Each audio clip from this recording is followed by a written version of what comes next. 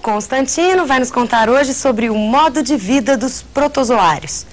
Filo de animais unicelulares, geralmente microscópicos, são causadores de muitas doenças, como a de Chagas, por exemplo. Sua diversificação é muito grande.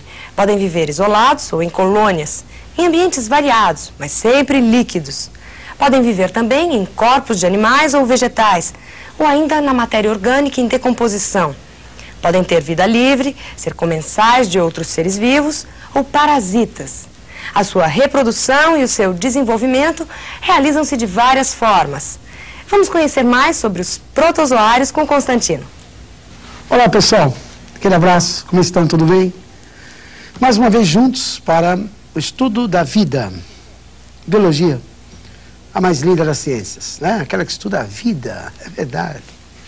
Bem pessoal, hoje nós vamos aproveitar esse novo encontro para o estudo dos protozoários. Protozoários ou protistas, se você preferir, né? Seres unicelulares, né? microscópicos, né?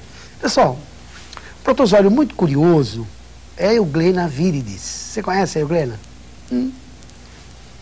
Não só curiosa, a Euglena é um protozoário que faz fotossíntese, né? É um ser clorofilado. Veja, acompanhe aqui comigo, olha lá. A Euglena viridis, olha lá unicelular, unicelular, autótrofo, tem cloroplasto, né? faz fotossíntese, a dona Euglena viridis, né? Onde a danadinha existe, a água fica esverdeada, né? A Euglena é clorofilada, né? Na verdade, faz fotossíntese, autótrofo, hein? produz seu próprio alimento, o duro, verdade. A propósito, pessoal, vamos bater um papinho sobre a classificação dos protozoários. Podemos dividir os protozoários em quatro grupos. Acompanhem comigo. Grupos dos protozoários. O que nós temos aqui? Os flagelados, os flagelados, aqueles que se locomovem através da batida de um chicotinho, um flagelo, né? também chamado de mastigóforos, animais portadores de chicote. Os risópodes ou sarcodíneos, risópodes, protozoários que têm pés que lembram raízes, né? Falsos pés, os pseudópodos, Sarcodíneos porque são carnívoros, fagocitam. Os ciliados, os ciliados e os esporozoários, aqueles que se reproduzem produzindo pequenas sementes chamadas de esporos. se assuste. Nós vamos ver cada grupo separadamente, né? Gostaria de bater um papinho primeiro sobre os flagelados, né? ou mastigóforos, aqueles que são portadores de um chicotinho, né? Flagelo. Inclusive, vamos dar ênfase para aqueles que causam doença, né? Tá? Uma doença muito séria que nós vamos conversar hoje é a famosa doença de Chagas. Doença de Chagas, doença que Carlos Chagas estudou né, e desvendou o mistério. Né? Uma doença que o indivíduo pode ficar com um coração enorme, né, uma cardiomegalia. Vamos dar uma espiadinha na doença de Chagas? Vamos, acompanha comigo. Detalhes sobre a doença de Chagas. Acompanhe comigo, olha lá. Veja. Doença de Chagas. Doença de Chagas, porque foi o Carlos Chagas que desvendou o mistério. Foi ele que desvendou o mistério dessa doença. Cardiomegalia por quê? Porque o coração fica grande. Quem transmite a doença é o barbeiro ou chupança. Barbeiro porque é um inseto que vive picando o rosto do indivíduo. É, daí o nome barbeiro. Quem pica o rosto geralmente é um barbeiro. Quando ele vai fazer a barba do indivíduo, ele costuma picar o rosto com a navalha. Esse inseto pica o rosto é um barbeiro. Ele é um artrópode, é, verdade, viu? O barbeiro é artrópode. Eu, eu sou cordado. Ele é artrópode, né? Filho do vetor, é um artrópode. Barbeiro porque pica o rosto, rosto de pessoas adormecidas. É que geralmente quando a pessoa dorme, ela dorme coberta. E uma das poucas partes do corpo que fica descoberta é o rosto. Por isso que ele pica o rosto, né?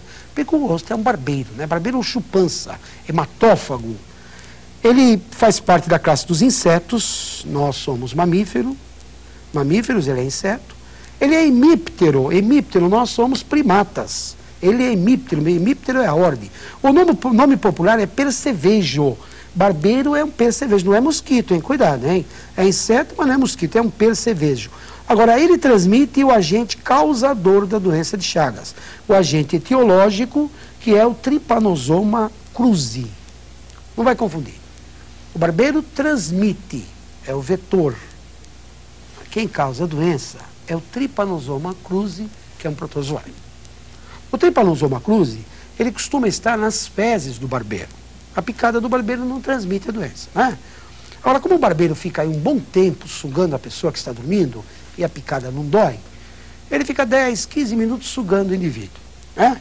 Ele fica tão satisfeito, mas tão satisfeito, que antes de voar, ele quer aliviar um pouquinho a carga e defeca no rosto do freguês. Né? Ele faz um cocôzinho no rosto do freguês. É no cocôzinho dele que existe o Trypanosoma cruzi. Tá? O indivíduo está dormindo, continua dormindo e se coça. Tá? Ao se coçar, o que acontece? Tá? O Trypanosoma cruzi, que estava nas fezes, cai na corrente sanguínea. Muitas vezes, ao se coçar, o indivíduo faz uma, uma lesão no seu tegumento, no seu rosto, por onde o Trypanosoma penetra. Né? Um órgão que ataca é o coração. Veja, coração é um órgão vítima. Pode ocorrer uma cardiomegalia, um coração grande, o cara fica com um coração de boi. Cardiomegalia.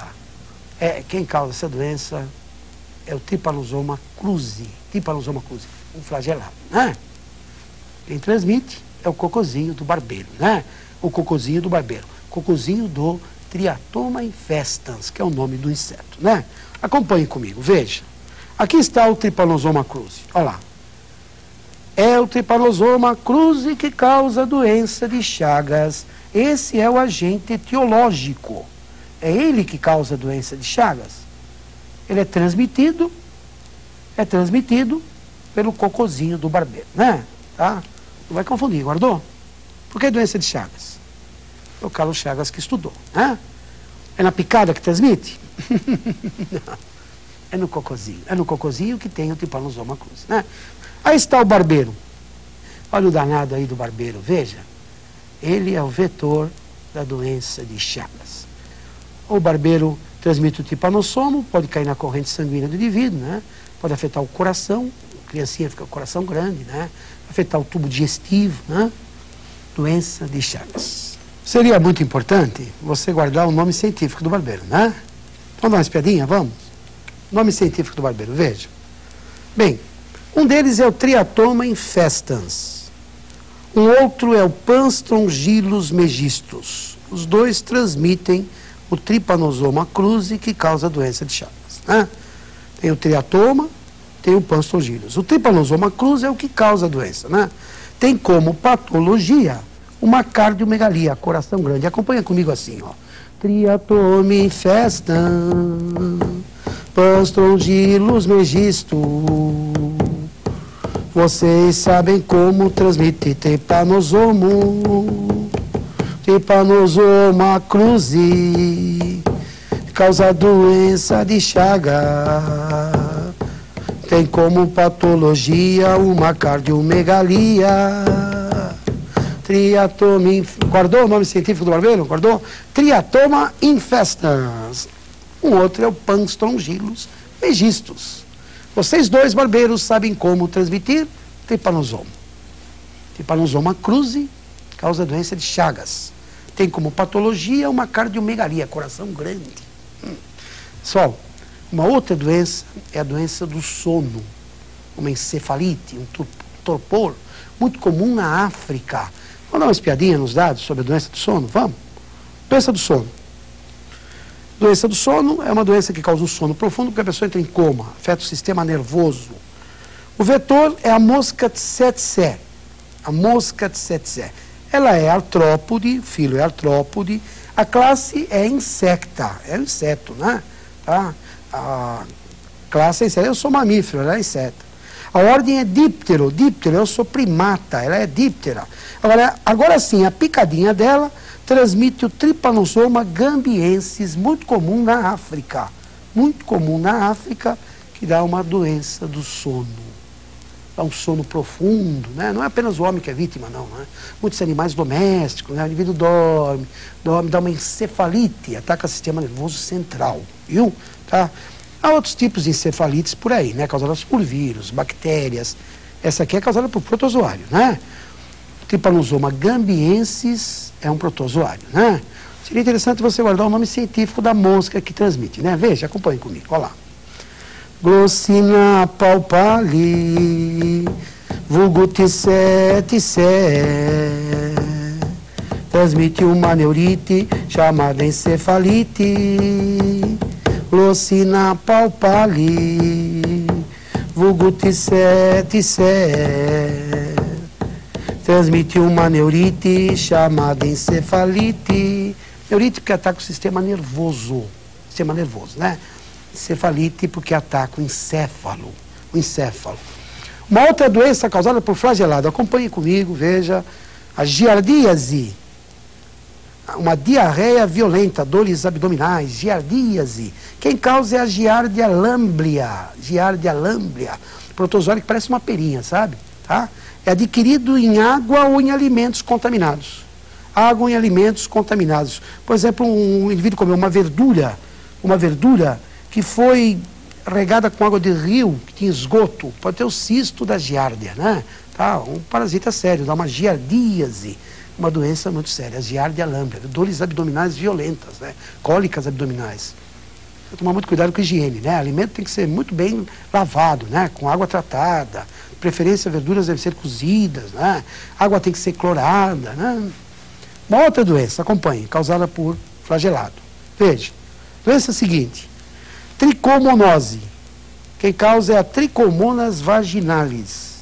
Tricomonas vaginalis é, esse flagelado, ele é transmitido no ato sexual, viu? É uma doença sexualmente transmissível, tá? No ato sexual, dá uma leucorreia, viu? Tá? É uma das DST, né?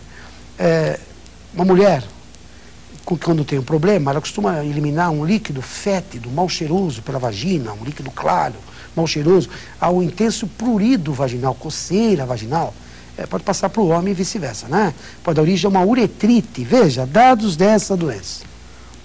Tricomonose ou leucorreia. É um tipo de uretrite. Quem causa é a tricomonas vaginalis. Tricomonas vaginalis. É, transmitida no ato sexual, né? Uma das doenças sexualmente transmissíveis, tá? Uma das DST, tá? Um pouquinho de corrimento vaginal, quase toda mulher tem, é uma coisa comum. Né? Um pouquinho de corrimento é comum. Agora, um corrimento intenso, mal cheiroso, associado com prurido, com coceira, é sinal de tricomonose, né? Tá? Tem que tratar. Agora, quando a mulher tem um problema e é sexualmente ativa, claro que não é só ela que tem que tratar, o marido também, o companheiro também tem que tratar, né? Porque se só um trata, não adianta nada, volta tudo de novo, não é verdade? É a tricomonose ou leucorreia, tá? Pessoal, um abraço. Até o nosso próximo encontro, se Deus quiser.